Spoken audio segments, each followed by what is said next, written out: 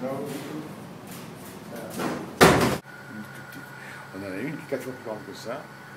La climatisation du bâtiment est un gros problème, sachant qu'on a derrière ça une exigence par rapport aux œuvres. Donc il faut que les salles où il y a des œuvres aient un climat très particulier pour conserver les œuvres. Et suivant le type d'œuvre, le climat est différent. Si c'est des bois, des peintures, des, des œuvres sur papier, le climat est différent.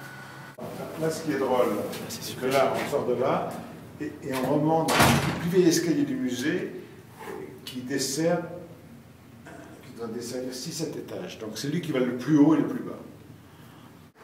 On change des lampes, on, on s'occupe de, la thermie, de tout ça. C'est une équipe de maintenance en relation des fois avec les entreprises extérieures. C'est eux qui gèrent tout ça.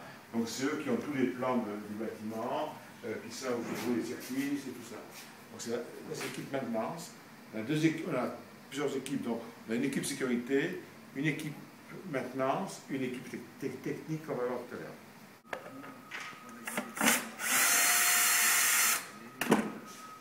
C'est la cassette ici. Notre collègue de vous là.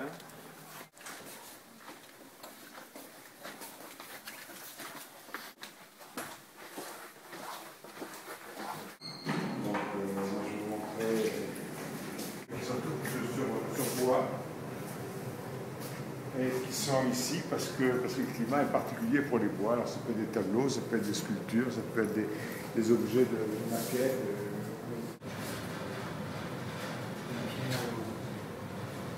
Quelqu'un travaille ici. Malgré les précautions qu'on a prises de bien marquer les choses, de bien faire c'est ça, euh, euh, quelqu'un peut être délicat, peut, bon, donc personne ne vient travailler ici. On voit que c'est ici que les personnes qui sont, euh, qui sont missionnées pour y travailler. Euh, ici, on a comme ça. Euh, oui, on en a